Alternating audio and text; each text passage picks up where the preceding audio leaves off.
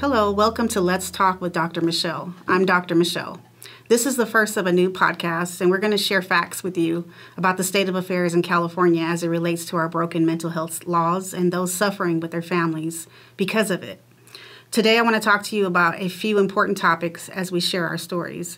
We're going to be discussing suicide prevention. We're going to be discussing the importance of removing the stigma of those suffering silently with mental illness because they are afraid what others will think and say about them. But let's start with the California LPS Act how it affects families of loved ones with mental illness, and how it affects the mentally ill homeless population, which is absolutely soaring in numbers here in California. A good number of those homeless uh, individuals suffer with debilitating mental health diagnosis. As I discuss the LPS Act, I will be sharing my son's story, and I do have a guest here with me who will also be talking to you about the importance of getting mental health care, suicide prevention, and other important topics. I think it's significant that I mentioned that May is Mental Health Month. I become more acquainted with the, the LPS Act in 2016 when my son Dajon became so severely ill that he was becoming 5150 on a regular basis. He met at most times at least two of the criteria, but once he learned how to answer the questions, he would be released. And so if you're not familiar with the LPS Act and the criteria, it's are you a danger to yourself? Are you a danger to others? Do you have food and housing? Dajon learned that answering these questions correctly would keep him from being involuntarily detained for his own protection. In July 2019, I lost my son Dajon at the age of 24 years old in front of a train at 4:30 a.m. Investigators are unsure as of the cause of death, meaning it could be suicide, it could be an accident due to the severity of his mental health impairments. He had schizophrenia, bipolar, and severe alcohol and substance use disorders. It could have been his alcohol levels. It also could have been foul play because I knew that my son was using and he owed money to people who were providing him with substances. Nine months earlier, my son was held on an LPS hold in a locked psychiatric facility due to being gravely disabled. He was released by a Superior Court judge against the rec- recommendations by a psychiatrist to hold him for nine months to a year because the judge said he presented well in court. She let him go. No one ever contacted me. Um, my son told the judge that he would live in the mission, which he was very unacquainted with. The judge just let him go, just like that and this is very common. Prior to the LPS hold, the temporary one, my son had cycled through psychiatric facilities placed on holds dozens of times over a period of three years. I went through great lengths to get my son the help he needed because his mental health providers would not listen to my pleas. They simply would not act to get me the help I needed to get my son hospitalized to get him better. I went through court for probate, conservatorship, in an attempt to help him with his mental health illness and provider at the time just despite everything of the severity of his symptoms would not help me. Even though they seen how far he had decompensated they simply would not sign the medical documents. Even with the statement from the public guardian's office noting that my son would not benefit from a probate conservatorship and needed lps conservatorship due to several reasons one was his inability to keep housing Prior to the LPS hold, my son was getting evicted. He was crying, screaming through the house where he rented a room, leaving the stove on, leaving the front door open, not eating, not sleeping, walking into the streets in front of cars, constantly putting himself at risk of being hurt and constantly victimized by perpetrators, in which I couldn't get him to listen to me about staying safe. At this time, I was his SSI payee and paid all his bills.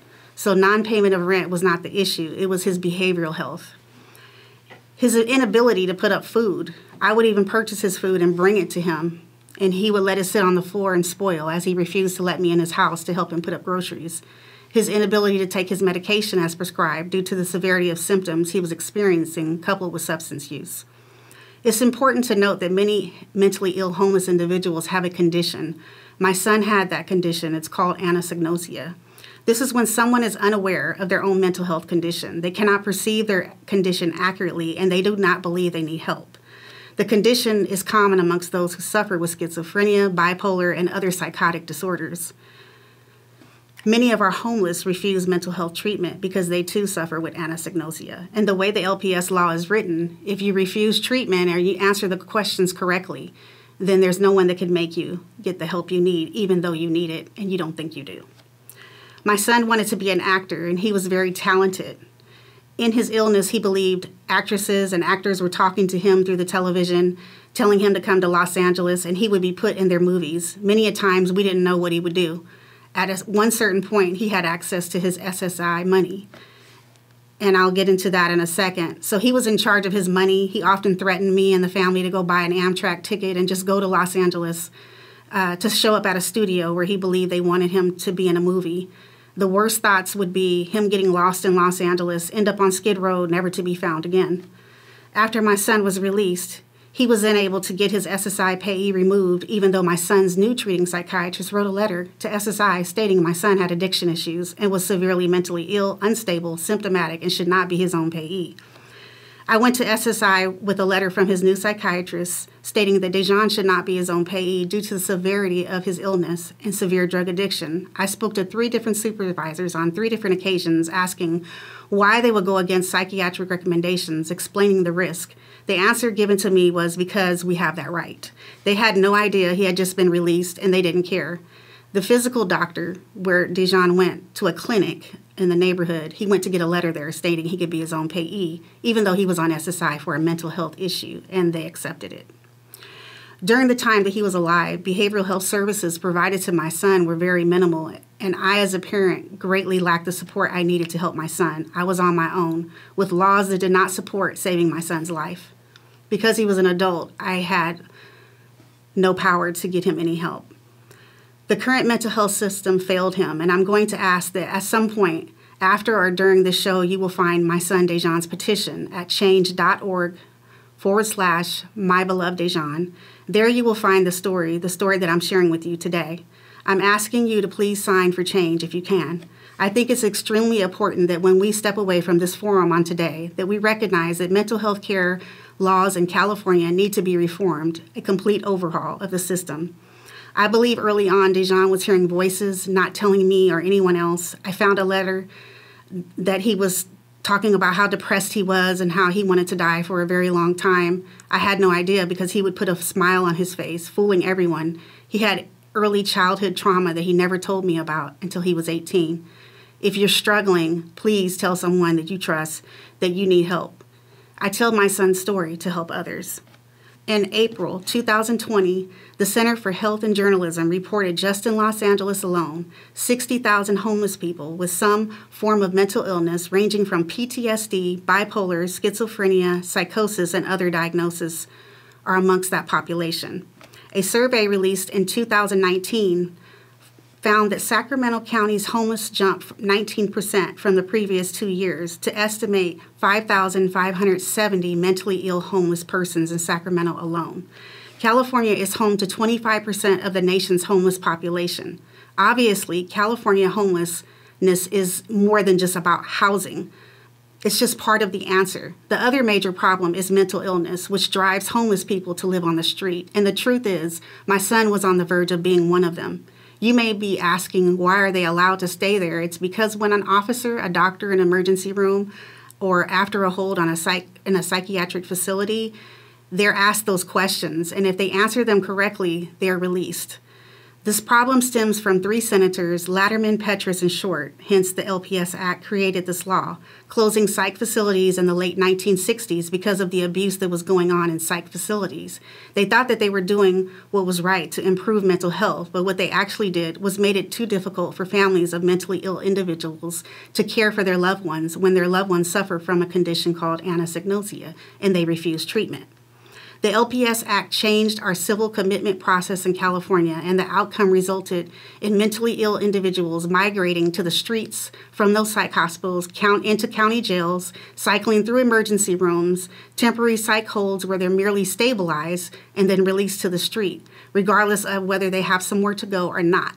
A continuous cycle putting individuals at health risk of death and more, like my son, stabilized and released. For the sake of the word, let me explain. Stabilize means, in this sense, it means they have been off their meds. They were refusing their meds, and now they're given their meds, and they're stabilized, and then they're released on their own with no resources to take care of themselves. So I want to be clear I'm not suggesting that we go back to how it was before, but I am saying that more metrics need to be in place. As Senator Moorlach put it, one can avoid LPS hold for gravely disabled by saying they have food and shelter, even if it's a tent next to a McDonald's across the street.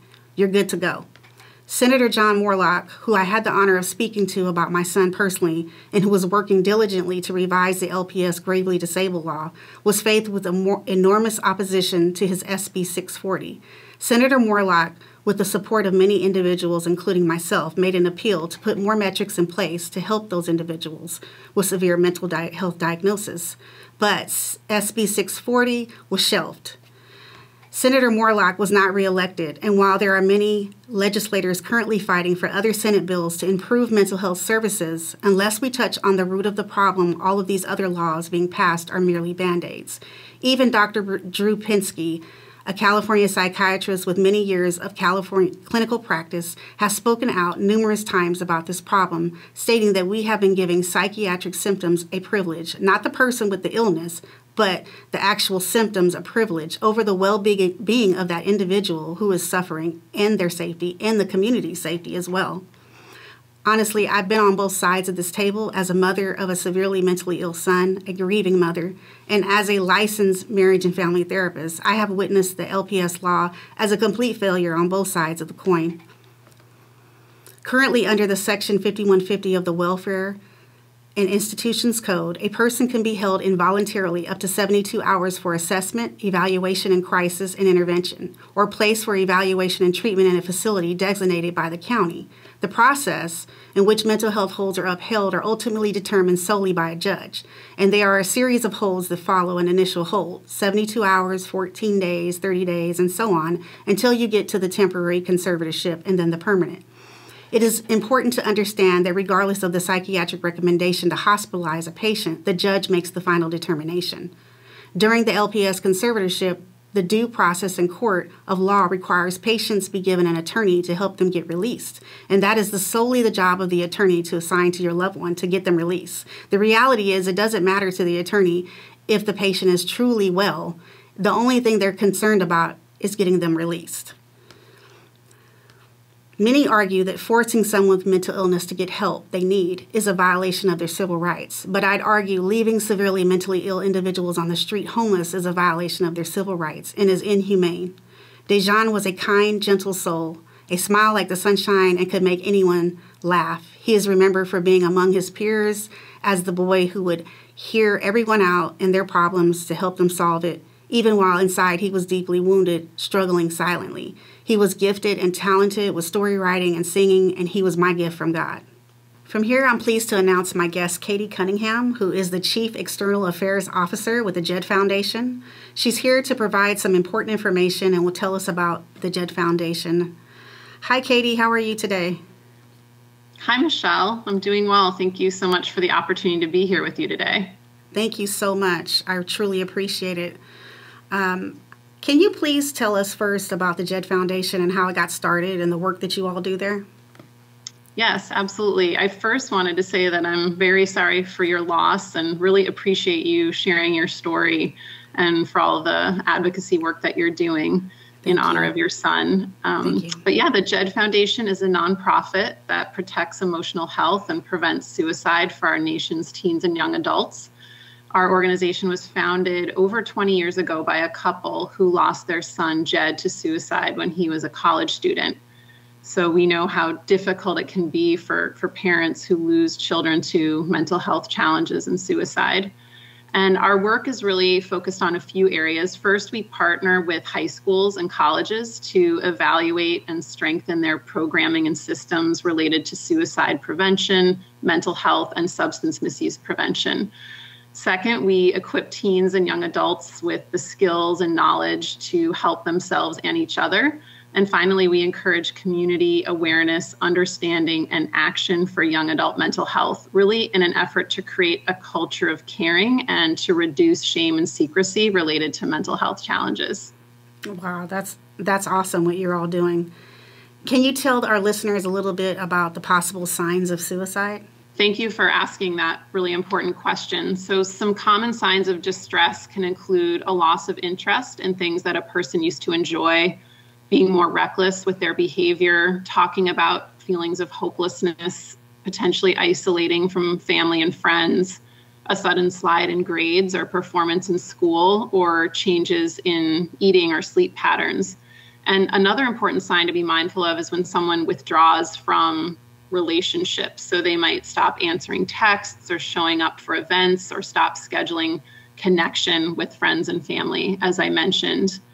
I think another thing to be mindful of is um, that if they're saying things like not being able to take it anymore, wanting to end it all, or wanting to die, these are signs to be really mindful of. Feelings of guilt, despair, or intense anger can also indicate risk uh, with someone. And if someone you know is starting to give away personal possessions or actively seeking access to or information about ways to die by suicide or posting goodbye notes on social media, it's really important to take action.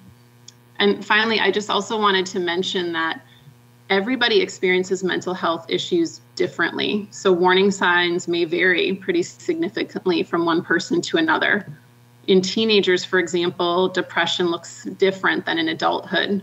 So, with a teenager, depression is not always the sad, low energy, passive presentation that we might often see in adults, but instead, teens who are depressed can seem more irritable, more impulsive, more verbally or physically aggressive than usual, and they can take more risks than is normal for a teenager. I totally agree with all of that. You know, being in the field myself, um, I, I have come acquainted with that as well. Um, lastly, please talk to our listeners about the importance of getting mental health treatment early and ways to fight the stigma associated with getting treatment. So, I'm really glad you asked that because getting treatment and care is so important, and there are steps all of us can take to increasing access to mental health care for teens and young adults and, and people in general. I would say that lots of science has shown that letting mental health symptoms go longer and or get stronger is not a good idea. So early treatment not only helps us feel better if we're having a challenge in the short term, it's also um, preventative for the future for, for additional challenges that may come up in the future. And it's important to know that early treatment actually shortens the length and intensity of treatment needed for mental health challenges and just thinking about the stigma that can surround this you know for all of us just being willing to start a conversation about mental health can really defeat stigma and help encourage someone to get the care they need. So i would just encourage your listeners not to be afraid to reach out to someone who they think might be hurting or struggling to reach out to someone that they care about and trust if they are hurting and just you know reach out in a simple caring way. You could say something like i'm worried about you or i've noticed you don't seem like yourself lately or i care about you. It's okay if you don't feel you have the perfect words ready when you reach out. Just that act of extending yourself and checking in with some someone can be really really helpful. And by reaching out and checking in you're showing your friend or your family member that you care and also, if you reach out when you're hurting or struggling, it helps your friends know that they can also reach out when they may need help. So, um, just that outreach to those in our lives is really important. I also wanted to mention, you know, what you're doing, sharing our personal stories about mental health challenges or challenges loved ones may have had is a really helpful way to reduce shame, secrecy, and stigma around these issues. Thank you so much, Katie. I truly appreciate you being here today. You just don't know. um, I remember, you know, right after my son passed, and you know, my son's story falling on seemed, you know, deaf ears. You were one of the, along with Senator Moorlach, who listened to me, support me, and encouraged me. And I just truly appreciate what you're doing, the work that you do, and the support that you have given me um, in my work. Thanks for saying that, Michelle. Yeah, it's been, I'm just so grateful to have been in, in touch with you these last several years and really admire your courage and determination and the advocacy work that you're doing. And um, also wanted to mention to your listeners that if they need more information or resources, we have a lot of free resources available on our website at jedfoundation.org. And I'm really grateful to have this opportunity to talk to you today and and thank you again for for sharing your story and for all the incredible work you're doing. Thank you so much, Katie. I really appreciate that. And again, that's JED Foundation. Um, you can Google that. And if you know someone that's struggling or you are struggling, there is a suicide hotline that's a national number, and it's 1 800 273 8255. 1 800 273 8255. My next guest is worldwide boxing champion Mia St. John, who lost her son Julian in November 2014. She's here to share her son's story, to advocate, and bring awareness. Thank you, Mia, for joining us. I appreciate you so much. Thank you for having me. I know it's hard, um, and you know I understand, but is it, can you share your son's story? Just kind of a synopsis of yeah. what happened. Yeah. So you know, my son had schizophrenia, um, and he was formally diagnosed at the age of 18. And we had him in and out of facilities, in and out of doctors, um, trying to figure out what to do. What happened was he developed a meth habit to deal with his voices. And we kept putting him in rehab because what would happen was my son would end up in psychosis, homeless, and I would be searching the streets for him. And I would find him, bring him back home, clean him up, get him back on his meds. And then within a couple weeks, he would go off his meds, go looking for meth, and end up again in psychosis in parks, in streets. And um, so we finally asked Department of Mental Health for help, and I got conservatorship and I put him in a rehab, and um, they neglected him. Um, they had plastic bags in the high risk suicide units, which my son was in. And ultimately, that's what he used to take his life. Um, now, the facility was found guilty of neglect and falsifying records. Mm-hmm. And we had surveillance to prove this all. So we won in court and then we found out that there were many kids um, that died that way, not just my son. And I fought and fought, and just this year um, was able to make plastic bags banned in LA County facilities. Um, but it took a long time. It was a long fight.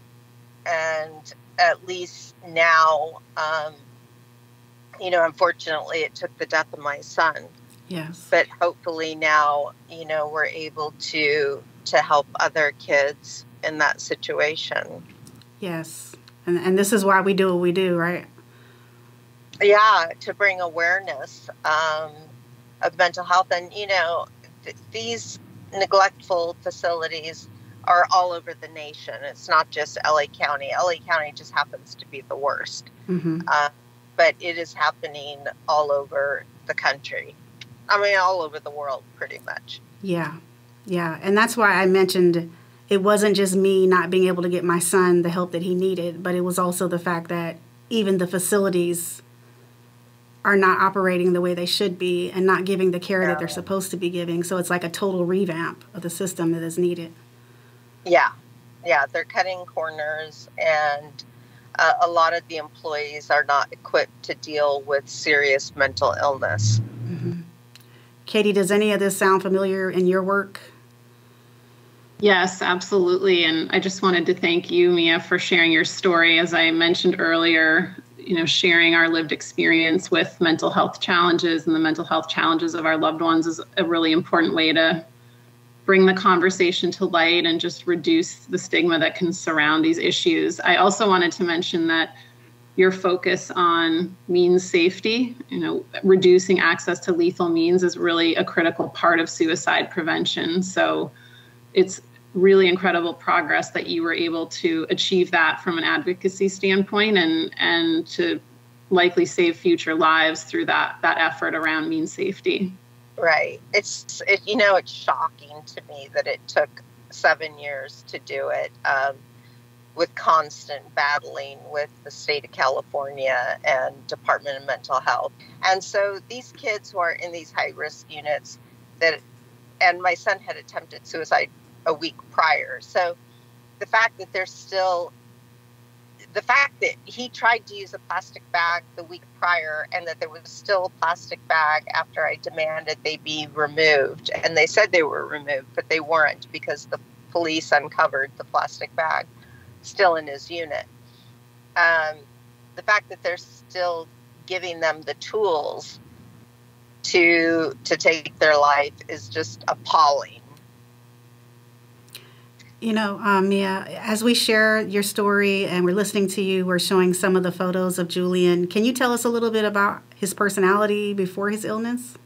Oh, my son was, even during his illness, you know, he was a, a wonderful artist. Um, his first gallery was, he was signed to the Laguna Gallery of Contemporary Art, you know, so he was a very, um, you know, artistic beautiful, loving child with such a fun personality. And even in his illness, you know, and that's when he would paint the most was okay. when he was psychosis. Um, so um, these kids, like with schizophrenia, are brilliant, you mm-hmm. know, and a lot of them are so creative.